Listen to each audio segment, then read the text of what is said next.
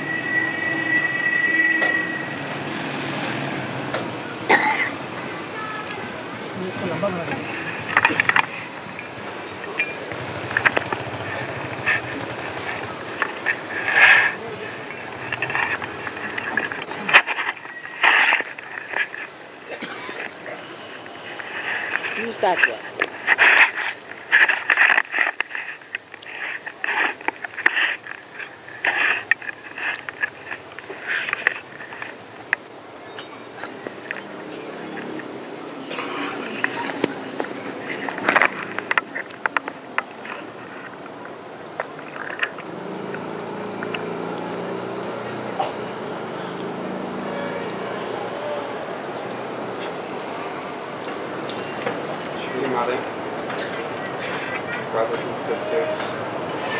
I think it's uh, to be raised a little. Sound is not reaching people.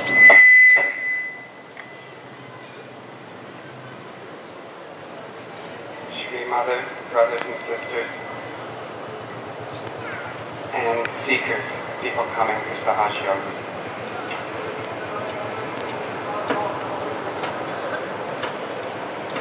I'm from the West, from the country of Canada. I live beside, very close to the country of the United States of America.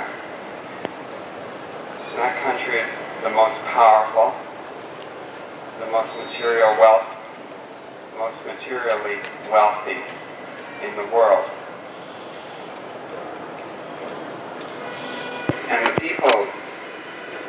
The United States of America are the most fearful and afraid people in the world. They are afraid to walk their own streets at night. They are afraid of an invasion from another country. They're afraid of what is inside themselves. And so it is with with all of the Western countries. America is the worst, but with all of the Western countries and with all of the Western peoples. And the Western peoples are not simply those who live in the West, but those who have embraced the values of the West. The values of the West, the material values, taking the material over the spiritual. And in taking the material, grasping the material, we have also grasped that fear. We're afraid of so many things. We live our lives in fear.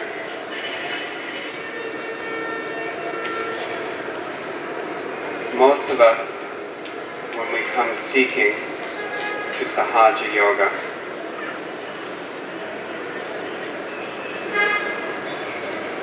some of that seeking is out of fear. What's going to happen to us if we don't find something that can take care of our problems? Maybe we're afraid of dying from some disease that we've contracted. Maybe we're afraid of somehow losing our own spirit through all the diseases spiritual diseases that are around us. So it's essential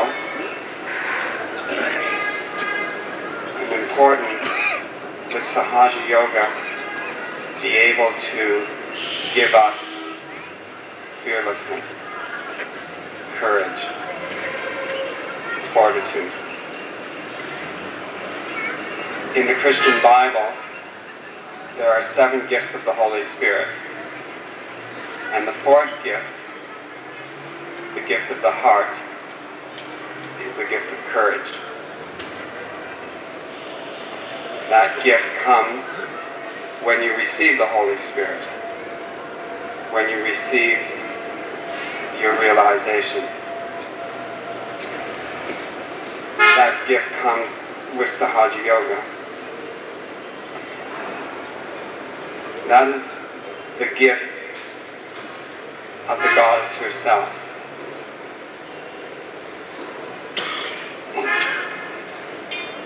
In the Hindu tradition, you're very fortunate to have the images,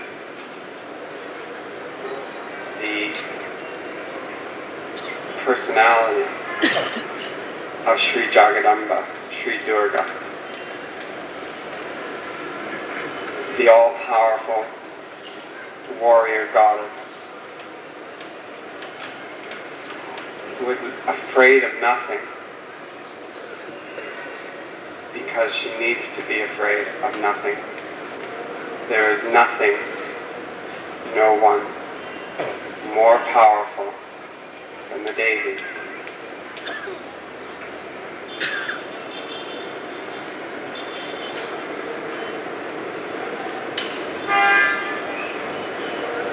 We need then to awaken that Devi in us.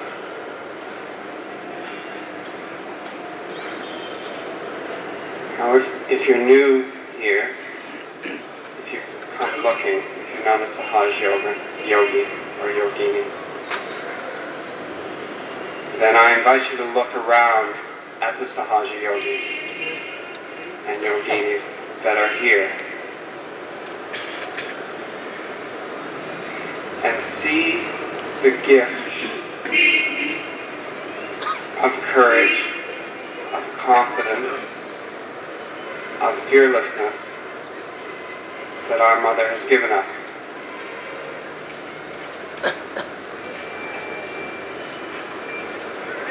All of us have overcome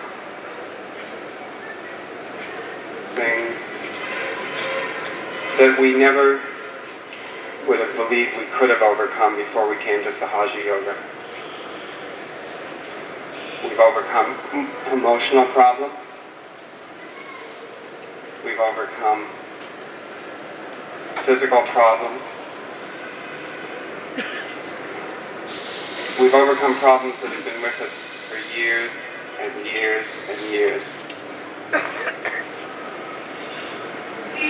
For me, it was difficult to stand up before an audience and speak.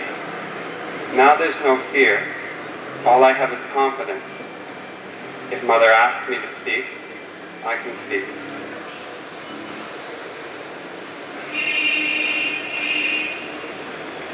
Whatever's asked of me in Sahaja, I can do.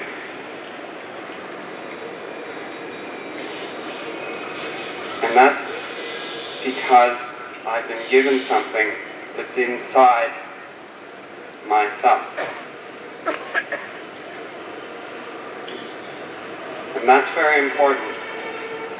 Here we have in Sri Mataji the most important spiritual personality of this or any other age. Just like that.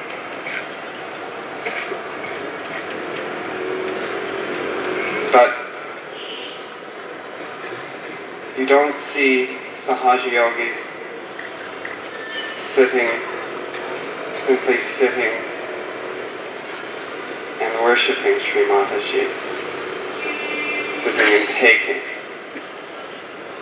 When we do take, all we can do is take. But we worship in our action. Sahaja Yoga is not something that teaches you how to sit, how to be passive, how to be passive. It's something that teaches you how to go and do. Sahaja Yoga is and will change the entire world. It will change it in every aspect. And it will change it because we are given within each one of us those qualities that Sri Mataji represents as our ideal.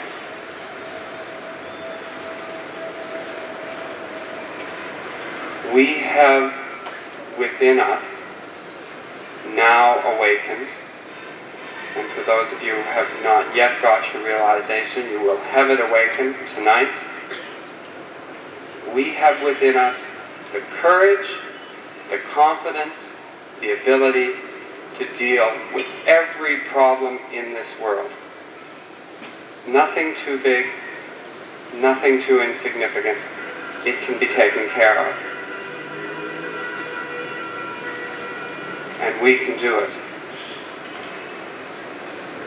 And we can only do it by surrendering the ego and by allowing God, by allowing, allowing Sri Mataji to work it out through us.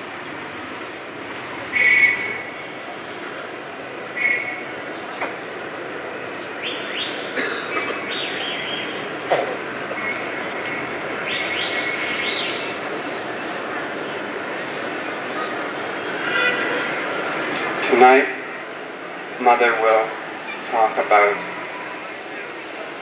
the Devi and where the Devi resides in our chakra in the center heart. And all the intricacies, the importance of that quality, of that deity being awakened in us.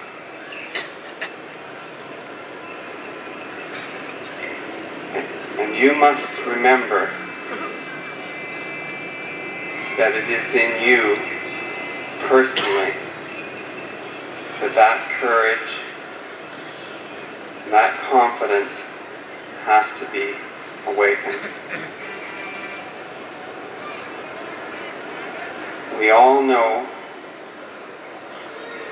that the world has to change, and we all know that it has to begin with us. And you should all know that it begins here at Mother's feet.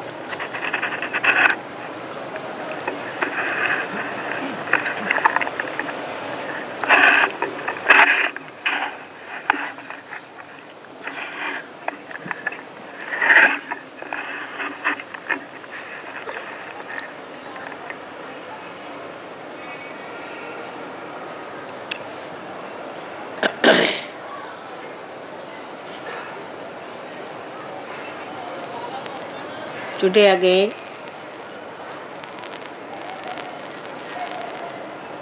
I must thank Mrs. Venugopalan for singing such a beautiful song about the Devi. I was very much impressed the way Patrick told you that they are confident that they can solve any problem. That's what it has to be. That's the sign of a Sahaja Yogi who has reached a very great height in his understanding about himself and about others.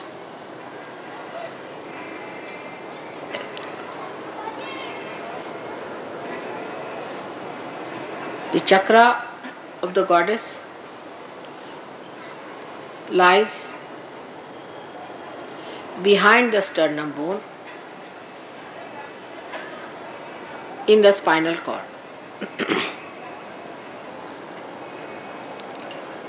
this chakra is placed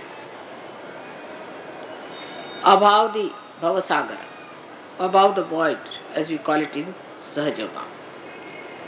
And the bridge that has to be crossed by the bhaktas, by the seekers,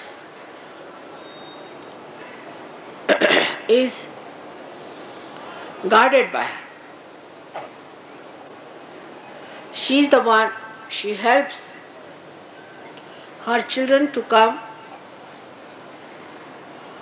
through that passage when there are negative forces trying to attack on a seeker. This chakra is placed at the back of the sternum bone, as I told you. In childhood, the antibodies are formed in the sternum bone.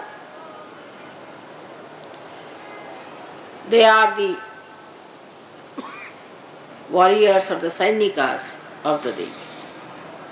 Until the age of 12 years, they grow and multiply,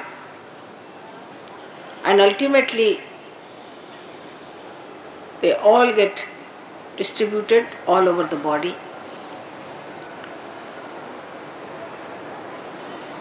And a human being is made able to face any outside invasion on him.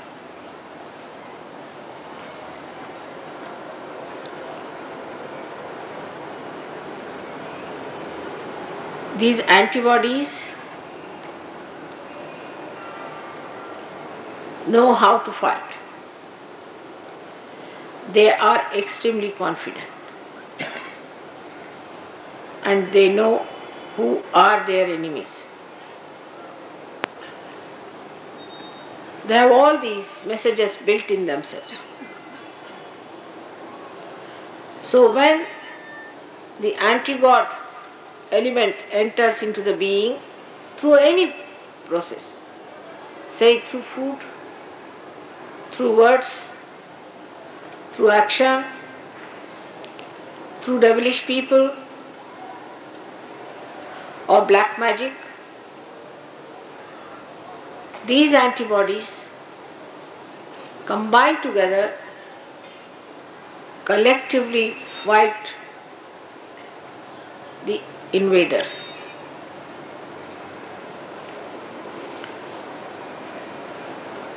Those who do not have their central heart properly developed suffer from tremendous insecurity all their lives.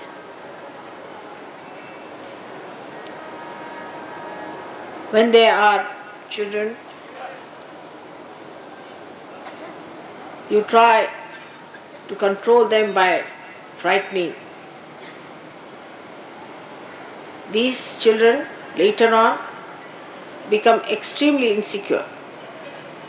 They are afraid of darkness, they are afraid of night, some of them are afraid of everything. Because the antibodies that are built in the body are not sufficient in number. And being this center so weak, the person feels extremely insecure. Later on in life, when the child goes to the school or he tries to work,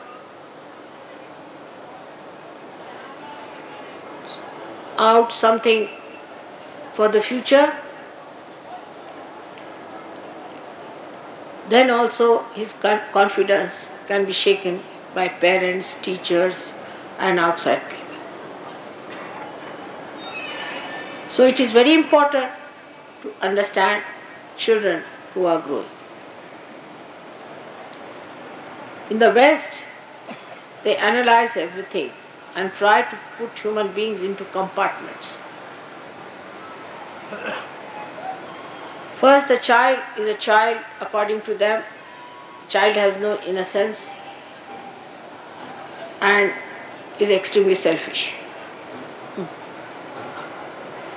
Second part is adolescence, which they think is a very arbitrary, moody stuff. In India, we do not know that there is something like adolescence. Now, these adolescent people form a group and they start criticizing or making fun of all the elders. At a very young age, it starts. First, they make fun of the teachers, then of the parents, then of all the people who are senior to them. They start becoming extremely active in their brains because they see too many televisions and things like that. And then they start behaving at a very young age in such a violent ways that one cannot imagine. I used to live about 25 miles away from London. And every time I would go to London, I would find some children doing some sort of a mischief somewhere. But one day some of them entered into my compartment. And they started pulling out all the covers, thrusting their knives into the seats, opening out all the upholstery. I was just sitting and watching. So I said, Now are you tired? Please sit down. What's the problem? They said, We are all very angry. I said, For what? Why are you angry? I said, We are just angry. Have you? I said, But you have to be angry for something.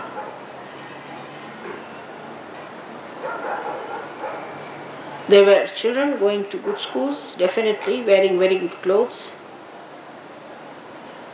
And then I had to, when the train stopped, I called the ticket collector and told him that these boys have been doing all this hooliganism in the compartment and you better look at it.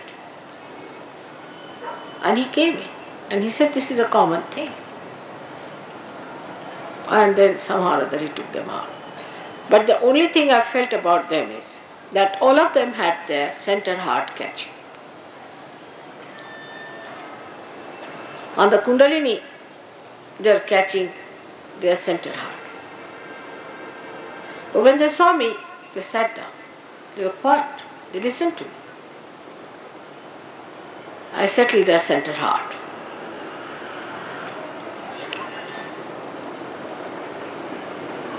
And most of them said we are angry with our mother. Why? Because our brothers are angry. But why your brothers are angry? Then I discovered that Freud has given these funny ideas against the mother. Mother itself, can you imagine? What an anti God activity it is. To an India, mother is the primal thing. Any Indian. Because his sense of security lies in the mother. Even if the father is hot tempered, is angry, still they depend on the mother. Because mother knows when to get angry and when not to get angry. She has the discrimination. And she is the one who protects them. The idea of mother is completely blasted in the West.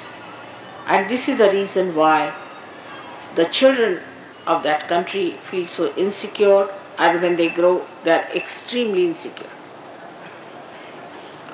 You won't believe that all the time they are polishing their brass, cleaning their house, but not even a rat enters their houses. And if they have to talk to someone, they'll make a person stand outside and talk from inside, especially in London. Because they're literally frightened. Nobody will believe the British who ruled us are such frightened people. But they are. They are frightened of each other, they are frightened of themselves.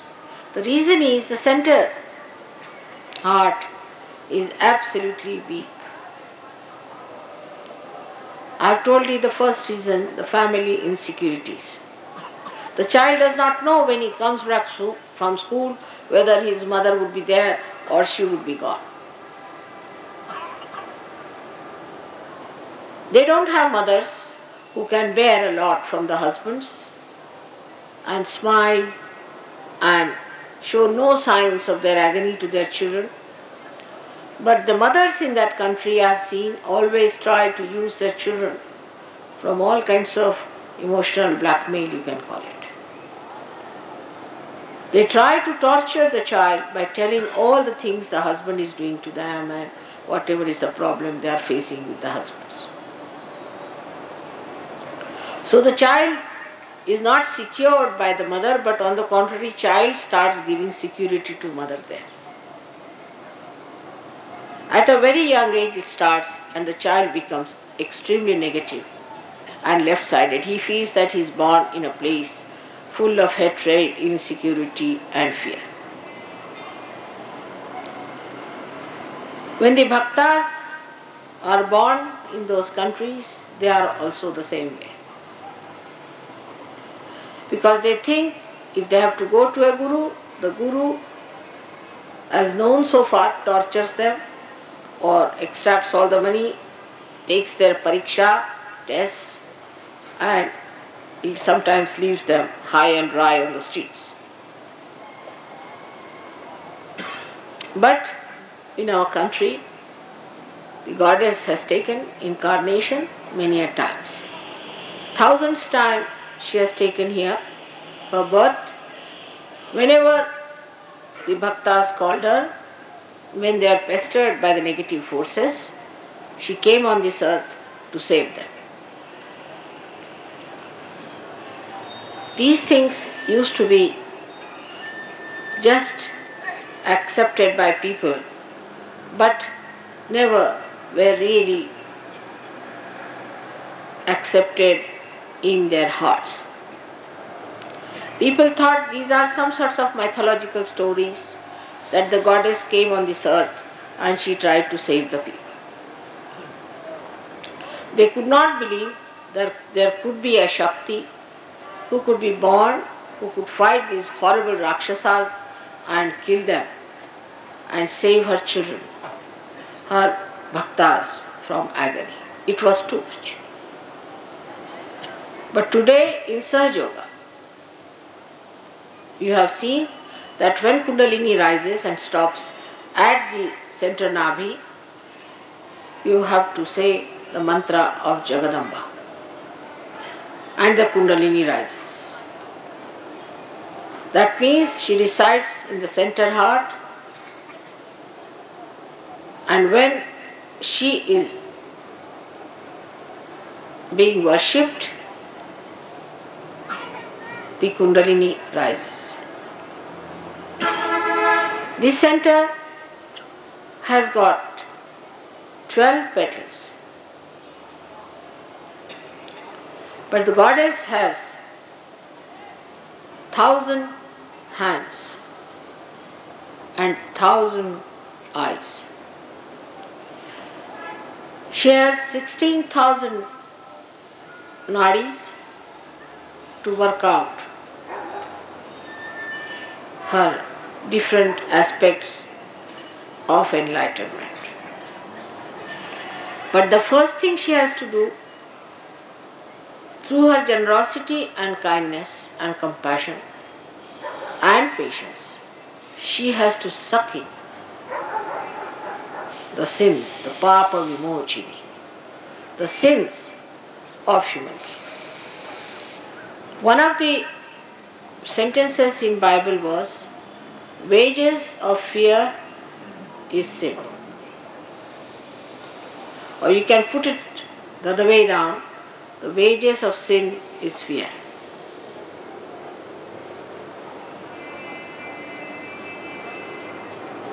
If you have fear, you are committing a sin against yourself and against God.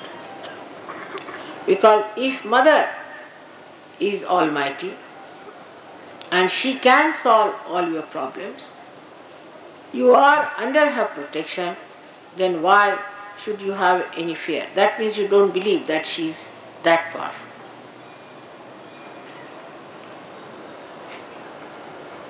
When a person is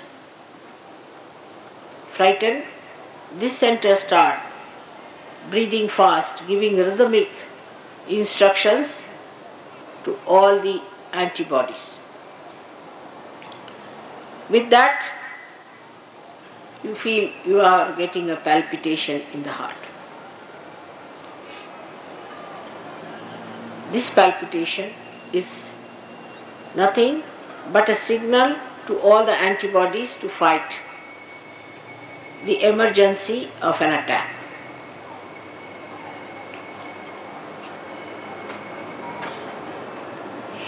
But when somebody builds up insecurity later on in life, it becomes a physical problem. If they have insecurities earlier, it is an emotional problem. But later on in life, when one develops a insecurity, any kind, like a wife is insecure about her husband. Husband is a loafer or a bad man and carrying on with other women. So that motherhood of the wife is challenged. And when her motherhood is challenged, she may get the weakening of the center by which she may suffer quite a lot and may have even breast cancer. These insecurities can be also self made, imaginary. People can just think about it and build up some sort of insecurities which are of no actual existence. But such fears are very much more in the West because the life in the West has no mooring, has no explanation. Whatever you ask them, they'll say, What's wrong? A husband will say, What's wrong in having a keep? And the wife will also say, All right, if he wants to have a keep, let him have it. In India, no woman would tolerate such a situation. She would starve, she would do everything, but she will never touch a man who has a keep.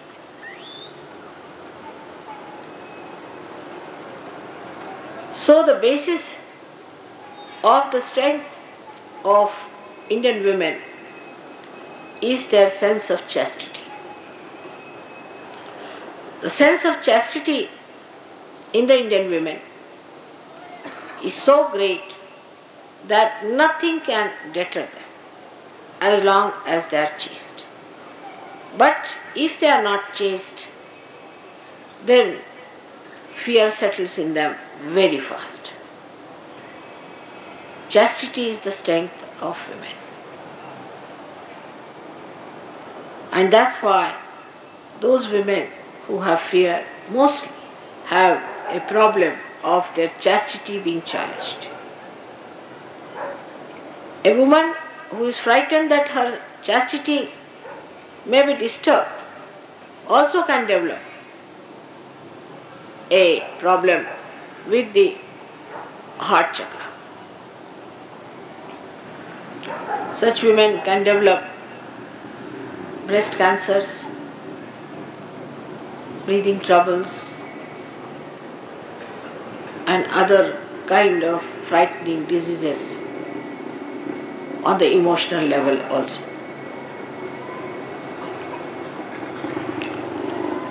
This chakra is ruined in women when they lose their only child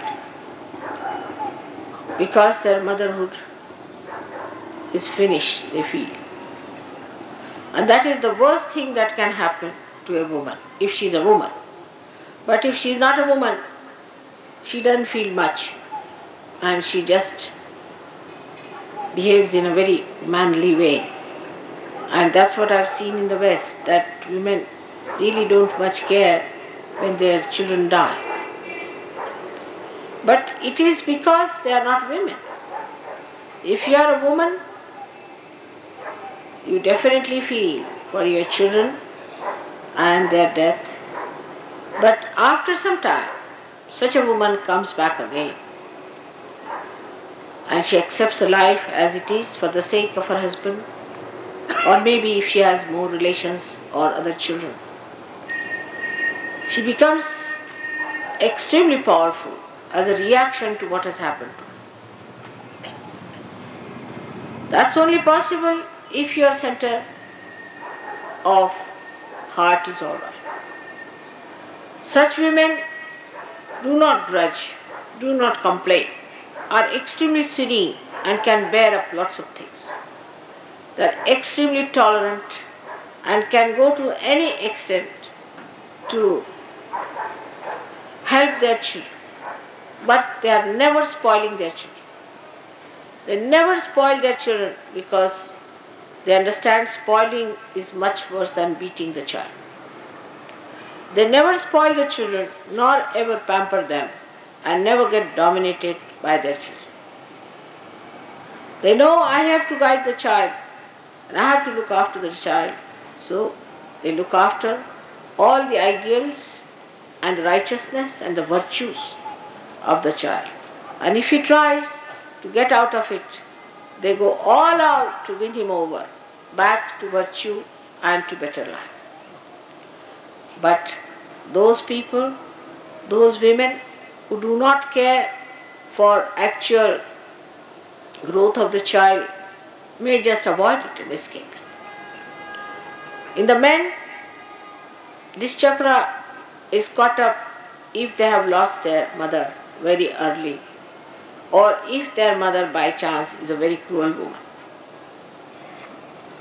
Also, this chakra can be caught up by men if they have been to wars and if they have seen frightful things in the war. Such people could be extremely emotional and could be easily befooled by people who try to win over their emotions.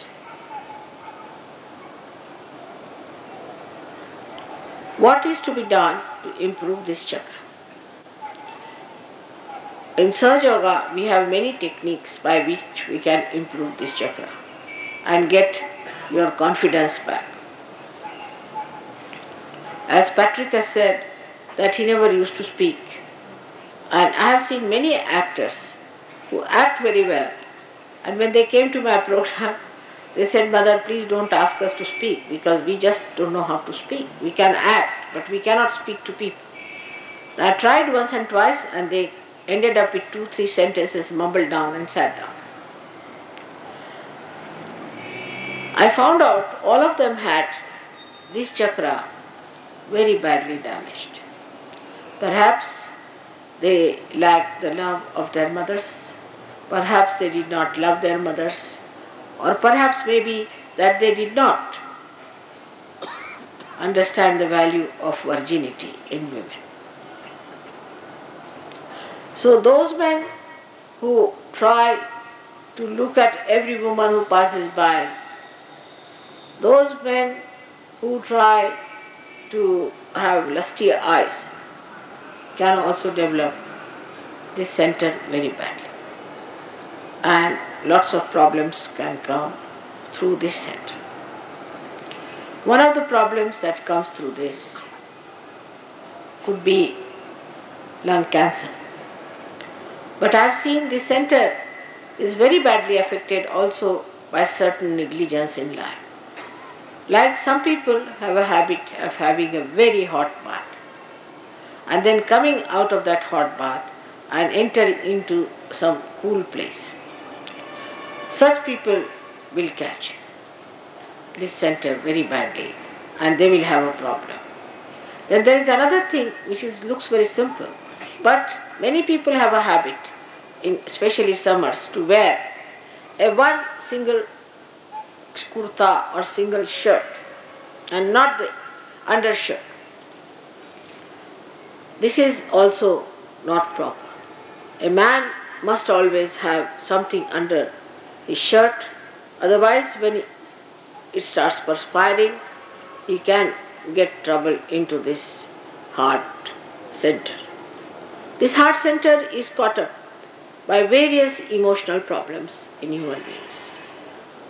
Husband and wife, if they all the time quarrel, there's always quarreling in the house, especially if the mother is very dominating, the child develops this center. And if the father is very dominating, the child develops this, the heart itself. So it is very important that husband and wife should never quarrel in the presence of their child. Now there resides in this center the incarnation of the goddess who came on this earth thousands of times and she resides there for your protection. But first of all, you have to be worthy of her protection. When she came on this earth, many a times, you know, her body was made by various forces, as if she was like a bubble, and the bubble was covered by so many things added on to that. And that's how she got lots of things from various uh, gods. Like her hair she got from Yama, the god of death. Her nose she got from uh, the god of wealth, Kubera. And her ear she got from the pavana, that is air. Like that, her body was made specially by the essences of these great deities who donated their essences to the goddess to be equipped to do these multifarious activities. Now, the first activity, as I told you, of the goddess is to save her children from the negative forces. So, she looks extremely mild, sweet, but she can be extremely violent in the sense she can kill or crush anyone who tries to overpower her children. Ati Saumya, Ati Raudra. These two temperaments exist only in the goddess because she is the mother and at any cost she wants to save her child. Also towards her child, when he goes beyond a point of understanding, when he shows no sense of discipline, then also goddess can pull him down by certain methods that she adopts. Now, first of all, is that she gives all that is needed to remove the fear from the mind of sadhakas. Secondly, she cures the center by giving birth to additional antibodies in the body. And by vibrating the tired antibodies to act in a way that they can fight back again.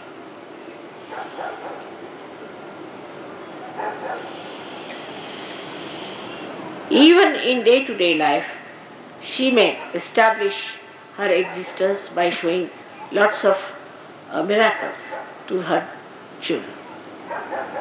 We had a lady coming to see me and she was rather late. And when she came back, I asked her what was the problem. She said, No, there was no problem, but my, my bus fell down about 20 30 feet down and the thing rolled down and fell on the ground with all the four legs intact. And all of us in the bus were saved. But the driver got upset and he ran away.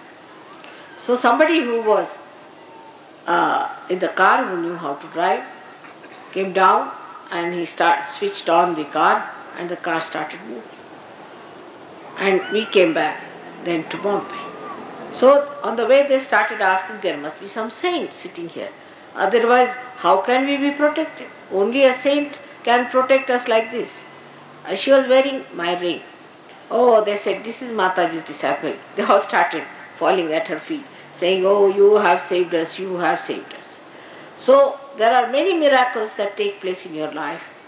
When you see an accident taking place, suddenly you find the accident is over. There was one fellow who was a journalist called Marathe. He and his friend, another journalist, were coming from Lonavala down. And it's a very big slopey road, ghat, and their brakes failed. And the, and the driver said, Now the brakes are failed, and you take God's name. And they started remembering their mother. And suddenly they saw a big truck coming ahead.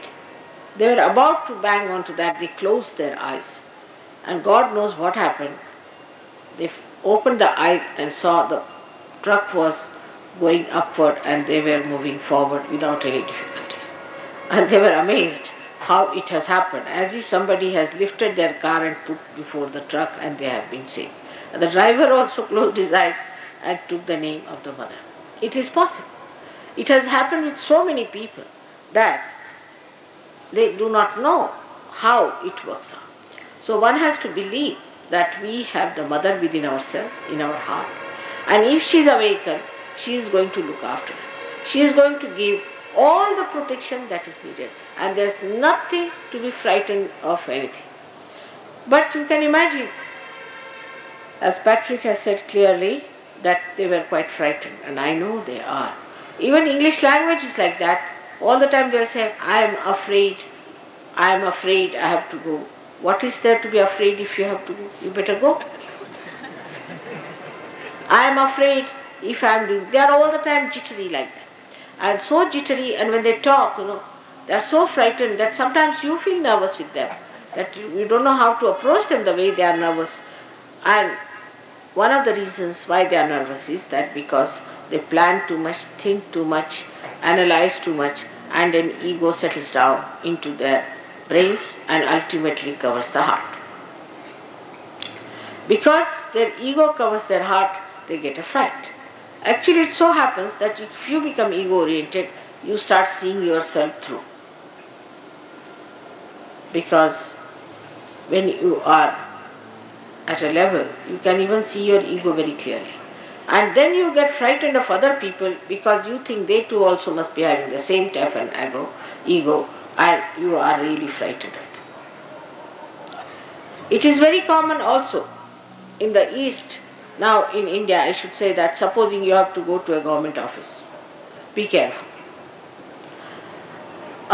Anybody, even a chaprasi can shout at you for nothing at all.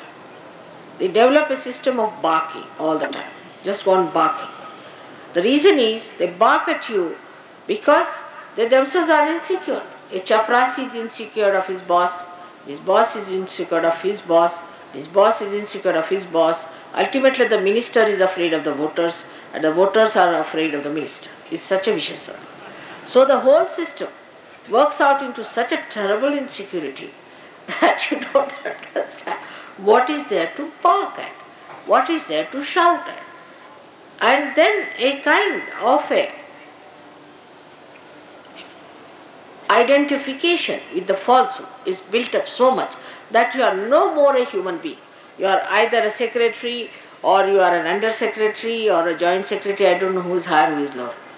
And then you have uh, some other secretaries and then you have clerks and this and that and that and you are that.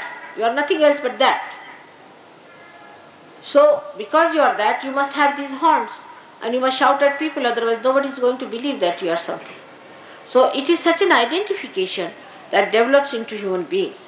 That too, because of this heart not being developed properly. Because if your heart is developed properly, then you are a human being because you know your mother has given you the birth and you are a human being. It is no, there's no need to have any fear from another human being who is also a child of your mother. So there has to be no fear about. But the trouble is that when human beings uh, start wearing anything, supposing they wear a suit, immediately they start speaking in English. As soon as they wear pajamas, they start speaking in uh, Hindi language or say dhoti Hindi language and pajamas, they might start giving galis. So it is a kind of a very superficial identification human beings develop because there is no depth in the heart. If they had that depth, that moving in the heart, then they would not develop these superficial things and as a result of that they are frightened because they know they are superficial, others are superficial, they have got beard, we have got beard. So they'll pour, if I am going to pull his beard, he might pull my beard as well. Such a fear exists among human beings. And then another thing, another steps come into the minds of the people that why not pull his legs to go up? This is the third category of debasement. If you are the child of the same mother, how can you go higher than anybody else? You will remain always the child of the mother. How can you go higher than any other child in the eyes of mother? You cannot. On the contrary, if you try to do such tricks, the mother will punish you. And this is the second thing that mother does is to punish her children. Yes, she punishes. In very sweet ways, first of all. For example, the child is not eating and troubling, she said, All right, you don't want to eat, all right, don't eat today. That's a very simple way of punishing children. But then she says, All right, you want to have the way you want to have, go ahead. Like I tell them not to do such and such thing is not good. For example, I told them that don't uh, take the flats uh, just from the beginning and let the, all the Sahaja Yogis stay with other Sahaja Yogis. But the organizers thought it better to take the flats, whatever may be the reason, because they are very wise organizers. But you see, mother says something very simple, but it has a meaning, one must know. And they arranged it that way. So, half of the people just protested that no, we are going to see, stay with some Sahaja Yogis, we want to be with them, so they were accommodated. The others were British, you know, nowadays are on the other side of the mood. They are very, very tolerant. And they said, all right, if we are not arranged, we'll stay in the flats. So they stayed in the flats. But what happened? It rained and rained and rained and rained, and they could not arrange their food even under the uh, roof they had built. So they had to shift all of them to other places, and all of them had to stay with other Sahaja Yogis as told by mother. If they had listened to the mother, they would have saved some money, as well as they would have saved some trouble, and there would have been no problem at all. That's how little tricks here and there are played by mother just to convince the children that you have been stupid. now, there are so many things like that which mother can play. And her playfulness is very important in life. Because if she is severe with the children, they'll run away. If she is like any other guru, the gurus, the Sadgurus also, they used to beat their. They used to hang them by a string. You don't know how the gurus treat their disciples. Some of them take lots of money from their disciples, and some of them take lots of uh, things from the disciple. They want complete surrendering and they make them subservient. They really torture the lives of their children, or, or their disciples, we should say. But the mother doesn't want to do that. So she plays little tricks here and there and tries to correct the children. Now I'll give you an example of a guru whom I met about five, six years back. He came from Amarnath to a small village, small district place near Bombay, where uh, Sahaja Yogini was staying. And he sent his disciple who was staying in that place to see that Sahaja Yogini. And she, he went and he told that, you see, my guru is coming and he wants to see Mataji. And he has told me that only Adi Shakti will clear out my Agya Chakra. So she couldn't understand. She said, What is your guru doing? Oh God, don't talk about him. He held his ears. Don't take his name. Oh, you can't know how, what sort of person he is. He said, But why doesn't he open your Agya Chakra?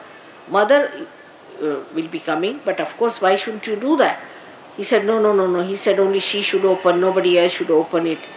And he sent me to, to this place about five years back saying that in the sixth year Adi Shakti will be coming and she'll open your Agya Chakra. Now, can you believe it?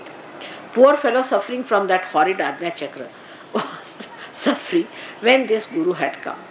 So he came to see me and he told me, Mother, my Guru has come and he wants to see you. So I went to see him.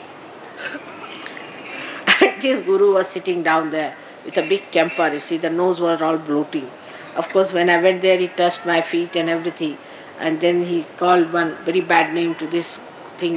Did he go, did he touch your feet? Was he alright? Was he behaving alright? I said, he was alright, but I can't understand. Why did you not open his Agya Chakra? He said, let him go to hell now. I am not going to open his Agya Chakra. Who opened my Agya Chakra? Why should I open his Agya Chakra? So I said, this is not good. I, I should open. Yes, yes, you will because you are a mother. I am not a mother. So uh, he, the, he went inside uh, and the, uh, the disciple told me, Mother, he hanged me by legs on top of this well. For three days I was hanging there. I said, For what? Why did he hang you there? You said, you said, she said, Don't ask anyone. Then he came in. Yes, yes, I hanged you. Yes, I will again. So I said, Why did you hang him? He was smoking. Because he was smoking, I hanged him there. I said, Now smoke. And I was putting him down, up and down. I said, I am smoking you. And he tortured him like this. I said, But why should you do such a horrible thing? He says, Otherwise, how will you discipline? I am not a mother. I don't know how to discipline. This is the only way I can discipline him. And he said, You go on spoiling him, but I am going to discipline him. Like, All right, I said, You shut up now, just now, don't talk. But let me put his agya right. And I took about two minutes to put his agya right. I said, His agya is all right now. Uh, then he said, Did he promise you that he will not smoke? I said, He did not. So he said, You better ask him the promise. Otherwise, I will not allow him to eat his food for three days. I said, Baba, this is a horrible guru. God save his disciple from this guru. but you see what he was meaning, that there should be a discipline in a disciple. There has to be a complete understanding that he is the guru. But he said, look at these people. How are they? They take liberties with you, they trouble you so much, uh, they try to be funny with you. Still, you don't say anything to them. I said, I don't have to say. I know how to correct them. So, this is the quality of the mother who can correct people. She knows who doubts them, she knows who thinks, uh, who thinks wrong about her, she knows who thinks rightly about her, she knows everything. If she knows everything, she doesn't have to worry, she is completely secured about it and she doesn't have the insecurity of the guru that one day the disciple will misbehave or anything because she knows how to correct. The other day I met one gentleman, a surgeon, and he came to me and he started explaining to me, Mother, you don't know this happened. I said, No, I don't know anything, isn't it? You think I don't know anything? He said, Yes, mother, how will you know? I said, I said, I, I, will tell you one thing. That you play, play lot of cricket in your childhood until you came to Sahaja Yoga. Yes, that's true. How do you know? I said, That's how I know. so I know or not? Then you know. Then he accepted, all right, you know, mother, all about me. I don't know how you know. But she's Avalokiteshwari. She's the one who sees everything. She, she knows. Somehow or other, she knows. How she knows, that cannot be explained at this stage. But she knows each and everything what you are doing if she wants to. And the third quality of a mother is that she is a Mahamaya.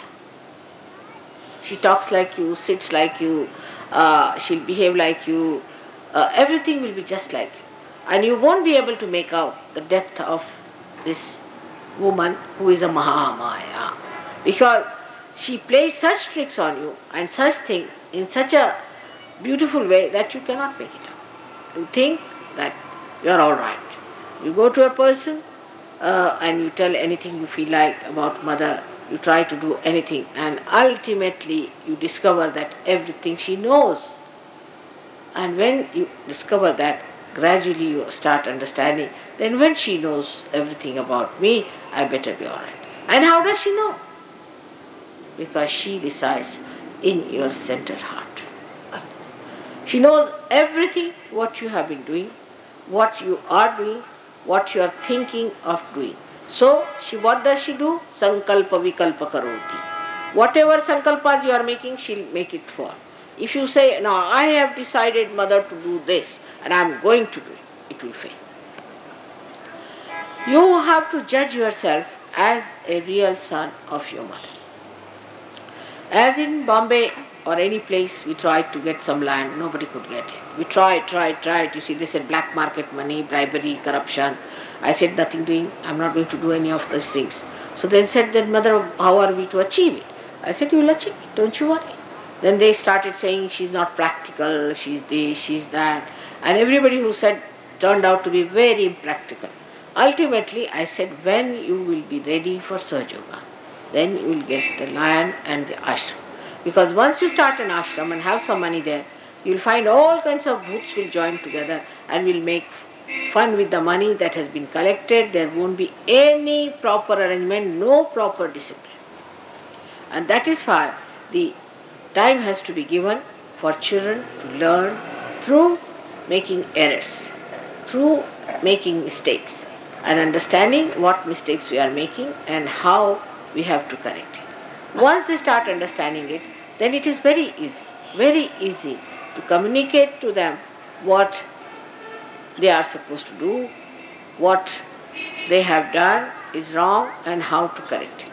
But as long as they think they are very wise, as long as they think they are extremely nice people, and that they are on their own, mother says, all right, go ahead, doesn't matter. Now you must know that mother has saved people from that Bhavasagara with such great difficulty. It's not easy to do that. It's a tremendous task. Sometimes to raise the Kundalini of thousands of people, I feel like uh, a big mountain I have to raise. It's terrible. But people, on the whole, who are not yet corrected, think they are obliging me by taking realization. This is a very common feeling with human beings. And I feel like laughing at the stupidity of the ego that they are obliging me by taking this um, realization. And the way they talk is all on this terminology. I came, I was sitting there for three days, I never got realization, as if I have done some criminal act. So, the whole attitude of a person gradually changes towards the mother, and he starts thinking that she is here for my well being, and my well being is her only concern about me. Somehow she'll achieve my realization. She's working very hard, and I must cooperate. I must learn to cooperate. It is for my hita, for my good she's doing it. And I should try to understand that it is for my good. When such an attitude is developed, it is much easier to establish a disciple. But this disciple is different from a son or a daughter. Because mother is a guru, no doubt. Mother is a guru from the very beginning you are born. But for a mother, it is very difficult to be as harsh as these gurus are. Not at all, nowhere near them. One cannot beat them in the harshness. But it is for you in your own wisdom to understand how to behave, how to ask for realization, how to change your attitude. Because if you think too much of yourself and you try to show off, she'll say, Yes, yes, you are very great, really, you are very, very great, you know. Till you suddenly discover that you have developed two big horns on your head and now you are good for nothing. Then she will say, All right, now come along. You have developed this disease, I'll put you right. So, better not do all those things. Uh, on one side, she is willing to go all out to save you from all troubles. Like, supposing you have some heart trouble, if you have some any other trouble, she'll go all out to save you. It's not easy to cure anybody's heart. People think that mother has cured us, so it's all right, take it for granted. It's not so. When you get Yoga, you'll be surprised that when you try to cure one person, you will fall sick for three days. It's not easy to cure. And those people who cure sometimes do it through bhoots also. Those who have bhoots can also cure because they themselves are bhoots. What can happen to the bhoots? They cure people but put one bhoot into the patient in such a way that that patient becomes a slave.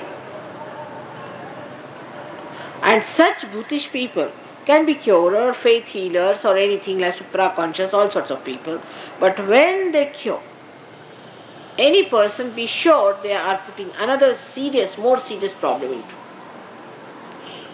They do not cure you really. They actually are putting some diseases into you or into the patients. It's a very risky game.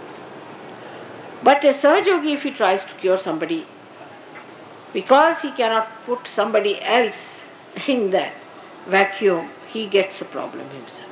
He's sucked in. So my advice is always for every Sahaja Yogi that you should not cure anyone. There is no need for you to cure by touching. You should use my photograph, you can distribute my photograph, tell people how to cure themselves. But don't cure anybody because you will have problems, because you are not a bhoot. And you will be hit hard, so be careful about it. Don't try to cure anyone, only use the photograph. By using the photograph, the Shraddha will be there, the person will be steady, and you will be alright. Uh, like yesterday, we had some patient here, and some people felt the compassion you know, for that, and they all got up. There was no need to feel compassion. Have you got more compassion than I have? What was the need to bring the patient here? There was no need, but they both got caught up. So there is no need to bring any patients to me. That's not the way to behave. Never bring any patient. If there's a patient, leave them alone. Tell them, mother will look after you. We have nothing to say. You, there's a photograph. You must use the photograph. Get your treatment done with the photograph, and you get cured. Otherwise, first thing that will happen to you that you'll catch on your center heart.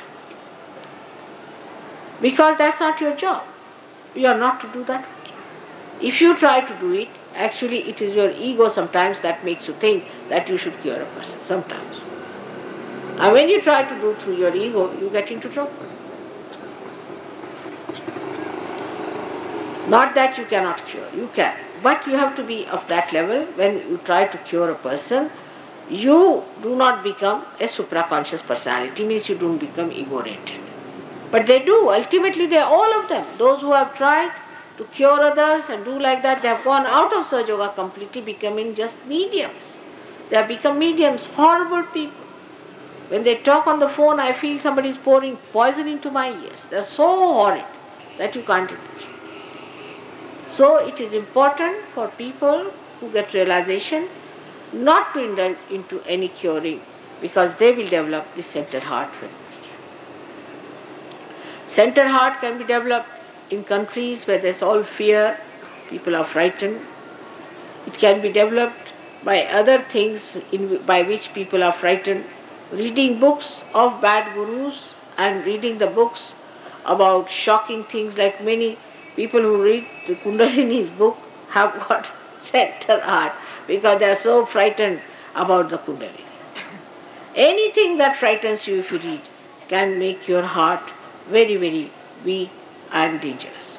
Now we have two other sides to this center heart is the mother's heart, is her own brother, is Vishnu, takes incarnation as Sri Rama on the right hand, who we think is the mother, father, who is looking after his children.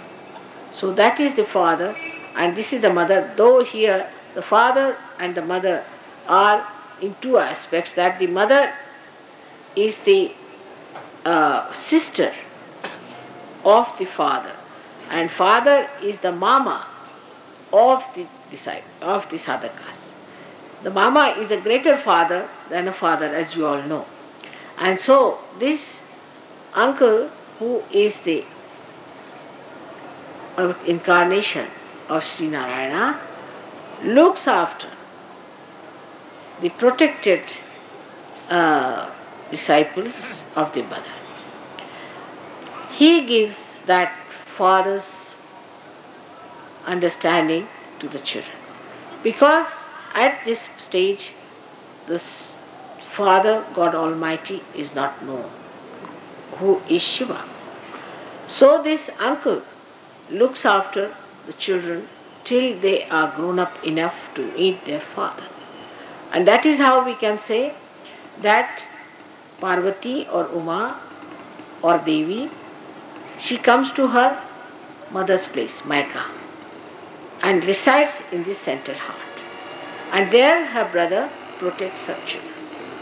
When she gives realization to children or gives them second birth, then this mama looks after the sister's children and helps them to build up the security of a father. So the right side of every human being represents the fatherhood. The fatherhood. And the fatherhood of a man is very important. If this center is spoilt or if there's something wrong with it, then you get asthma as a disease. Asthma is only caused by this center being spoiled or some other combinations with this center. Asthma is very common among girls and boys, and the relationship with the father or the understanding of the father or your own fatherhood is not all right, you get this trouble of asthma, and for that one has to ask the questions to the sadhakas what sort of a father you have. And one gentleman came and asked me, why everybody is asking me what sort of a father you have? What sort of a, everybody asks me, what about your father? What about your father? What has my father to do with me? Actually, everybody feels the right heart and they have to ask about the father because father resides in the right heart and the principle of fatherhood, if it is spoiled, if there is a problem with the principle of fatherhood, then you get this problem and many other problems, uh, which I do not want to discuss now at length. But you can understand a person who has no father, how diffident he is and how he behaves. And also, such people, those who have not known a father, can become very wayward, licentious, or permissive, or could be very much uh, secretly licentious. The people who lose their father do not have that lacking, uh, lacking, uh, they lack in that discipline that the father gives. Or could be such uh, people could take to a very remorse and unhappy life, or they could be very hard on their children, or could be extremely kind and spoil the children. It could be anyway. So it has oh, both the reactions, uh, either uh, too much of love giving or too much of strictness. It can be anything, or a person could be uh, of this kind, maybe very strict in childhood and could be extremely lavish in old age. It's a, it is a very imbalanced personality. So the person who has no father has to know that his father is Sri Rama. He should not worry about anything. He is a one with one uh, arrow he can kill any number of people. So he should have no fear at all about his father not being there or father being dead or something happening like that. On the contrary, if the father is dead, it's better to tell him not to worry about uh, you and that you are all right, so that you leave your father in peace and ask him to take his birth than to bind him to this earth. This is the right heart, and the left heart is the mother, actually your own mother, whosoever it is. That is the motherhood in the sense that if your mother has been extremely unkind and extremely funny, or your relationship with mother is bad, then know that there's something wrong on the left hand, uh, which is indicated in you. So these two points are very important in human beings. If a Sahaja Yogi just decides that I have a father and a mother, God Almighty is my father and my mother, then these problems can be easily solved. But in Sahaja Yoga, it is not what you think that works out. It does not. Like in the car, if you sit down and think that I am going to Connaught Place, you won't move. You have to move your hands. In the same way, in Sahaja Yoga, you have to move your hands, clear your chakras, move them higher, and put them up. It's not what you think is important in Sahaja Yoga. Not at all. You may think uh, that I'm doing very well in Sahaja Yoga, I'm very good, but it's not so. It is what you actually achieve, your ascent is the point. So, as in the car, as I told you, you cannot just sit down and think and do the job. In the same way, you have to run this machine and you have to see that you get all this movement. There should be gati in you. Otherwise, there is no sense in just talking about Sahaja Yoga, thinking about Sahaja Yoga, and uh, convincing yourself that you are a great Sahaja Yogi. It is how you manifest it is the point, which very few people understand. Very, very few people understand that it has to be manifesting. It has to be karyanvit. It is not just talk, talk, talk, talk, talk, talk morning till evening. Even when I am talking, now I am opening your heart center. I'm working it. Even I'm talking also, I'm opening it. It's working. You will see your heart chakra is open by the time I finish my lecture. It is so because I know how to do it. When I talk, I'm just watching where the chakras are catching, what's happening, and I'm catching all these points and touching it and trying to open it. And that's how it should be. That even when you talk, it should be karyanvit. Even when you are quiet and raising your hands, it should be karyanvit. Whatever you do, you should be karyanvit. Even if you glance at anyone, it should be karyanvit. It should not be just a uh, kind of a jabbering that we do sometimes about surgery. The greatest fear human beings have that they think they have done lots of mistakes. And these mistakes are too many and they can never get realization. They'll be doomed, they'll be going to hell. This is not at all. Nobody is going to go hell if they, you do not want to. If you want to stop it, you can stop it. The time has come. You are going to be blessed and blessed forever. So may God bless you. Today's lecture I have given you uh, in a way that you should understand the importance of confidence, but not by saying I am confident. Because when you say outwardly, you are actually egoist- egoistical. But when you say in your vibrations, then you are confident. May God bless you.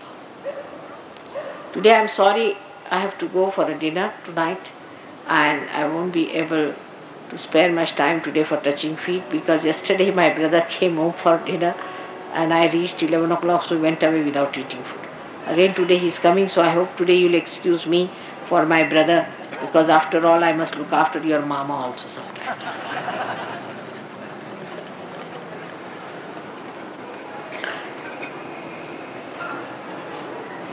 May God bless you. Tomorrow I'll talk to you about Vishuddhi Chakra, uh, which I will start exactly at 6.30. I hope you'll make it convenient to be here at exactly at 6.30. We start our program tomorrow exactly at 6.30. अब पैर नहीं छूने का कहा तो पैर छूने लग गए जब नहीं कहा तो सुनना चाहिए those who do not obey suffer you should not once i have said it what is there obedience why is it difficult why is it difficult to obey it is just try and obey and you will find it obedience gives you the real confidence. Is obedience just obedience. Just try. Just try to obey. It's very simple. And said today no touching of feet is all right. For indians it is difficult.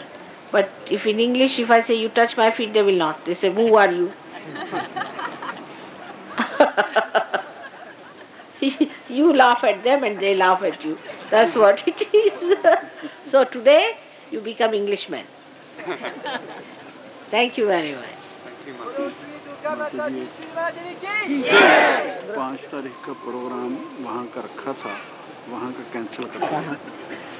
Kirti Nagar. अच्छा वो वहाँ मंदिर में कुछ भूत बैठे हुए थे उन्होंने ना कर दिया। तो यही रख लें पाँच का चार तक तो है।